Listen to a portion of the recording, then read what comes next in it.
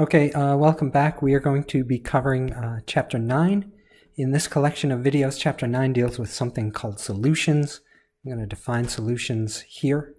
Uh, solution is usually a liquid. It doesn't have to be a liquid, but the only uh, type of solution that we're going to talk about will be a liquid where one or more things are dissolved in something else. So you are all pretty familiar with solutions, uh, very common ones that you deal with every day. But there's some words that I want you to know. I want you to know what the definition of a solution is. Um, the things that are dissolved are called solutes. So I want you to know what that word means as well. And the stuff that does the dissolving, in our case it's always going to be a liquid, is called a solvent. So I want you to know what these three words mean. The problem is they all sound pretty similar. They're all, they're all spelled similarly but they all mean something different. And you're going to have to know what they mean because uh, there are equations coming up in later videos where uh, these words are going to be used and you need to use them very precisely in the equations. So solution is, uh, for us, it's going to be a liquid where at least one thing is dissolved in the liquid. Solute is the stuff that gets dissolved. Solvent is the liquid that does the dissolving. So if, you, uh, if I told you you had a saltwater solution, and I said, what's the solute? You can pause and think about that for a second. Unpausing, that would be the salt, because that's the stuff that, that's dissolved. If I said, what's, you have salt water, and what's the solvent? You can pause again and think about that. Unpausing, I would say that's the water. Last but not least, I could say, what's the solution? And it's both of those things mixed together. All right, so you need to know that. Um, there are different kinds of solvents. So remember, solvents are, for us, the liquid that does the dissolving. There are many different liquids that can dissolve things. You can break them into categories. One way that people, one type of category that uh, people break them into is whether they like to mix with water, and usually these are called polar solvents. And uh, the other category might be called nonpolar. Those are liquids that uh, basically don't like to mix with water. What, what this really means is that there are little electrical poles on uh, different areas of the of these kinds of liquids, and the little those little electrical poles uh, like to uh, be attracted to the little electrical poles that are on water molecules. And so basically, things that are charged, things that have electrical charges, or have partial electrical charges, um, tend to be good at dissolving in other liquids that also have uh, partial electrical charges, which is basically what polar means. And things that are, have electrical charges or partial electrical charges are usually horrible at dissolving in things that don't have these electrical charges. And things that don't have electrical charges are generally good at dissolving in these types of nonpolar materials. So the classic example of a polar solvent is just water itself. So water molecule, I'll show you what I mean by polar. Here's a water molecule. The water molecule is bent like this. The, the oxygen side has a little bit of a negative charge, and this is how you show people that you have a partial negative electrical charge. The other side of the water molecule, the hydrogen side, has uh, partial positive charges. Um, and because one side of the molecule is not the same as the other side as far as electrical charge is concerned, you say that it's a polar molecule because there are little electrical poles, polar and polar molecule because there are little electrical poles on either side of the molecule. And these types of molecules with these little electrical charges tend to be good at dissolving other things with charges. Um, so water is kind of the classic example of this.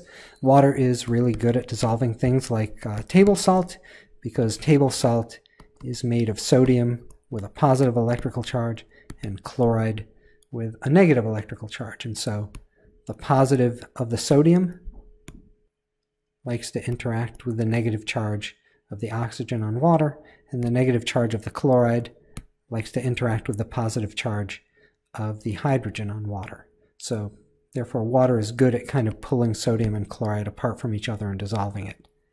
classic example of nonpolar liquid uh, might be many different kinds of oils, like vegetable oil. Um, vegetable oil, the molecules in vegetable oil and the atoms uh, are, are generally uncharged.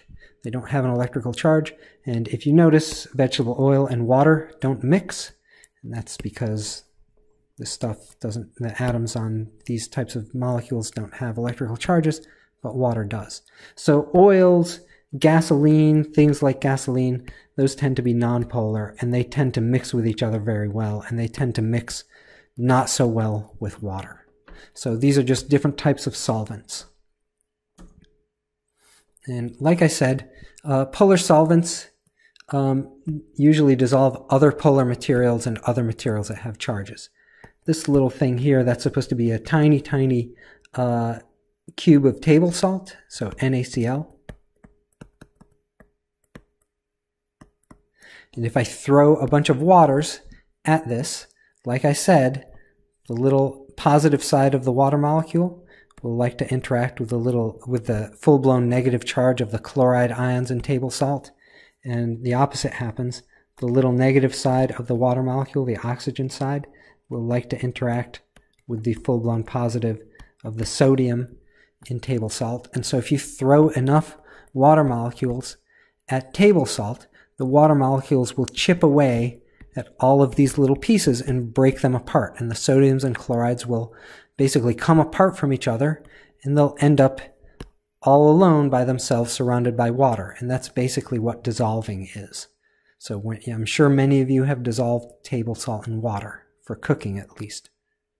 So here I'm showing you an equation of what happens when you take table salt, mix it with water. And this is just uh, an equation showing you what you saw in the previous slide, in the cartoon of the previous slide. You take uh, solid table salt, that's what this S means.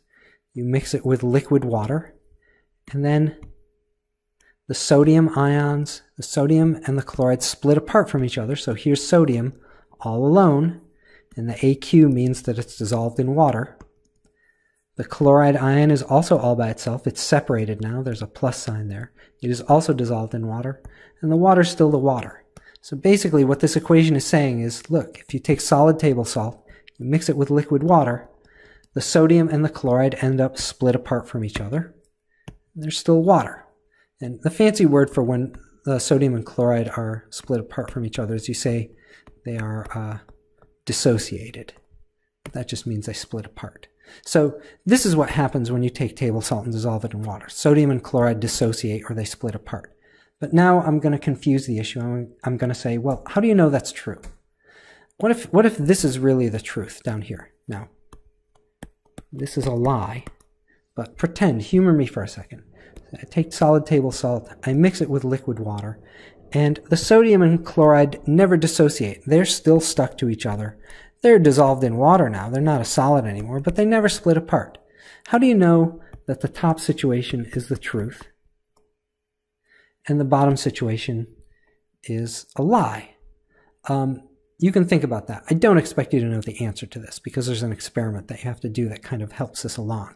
Um, and you're going to have to wait till the next video to uh, figure out what, what the reasoning is. But you can think about that and then maybe watch the next video. So, not true. See you in the next video.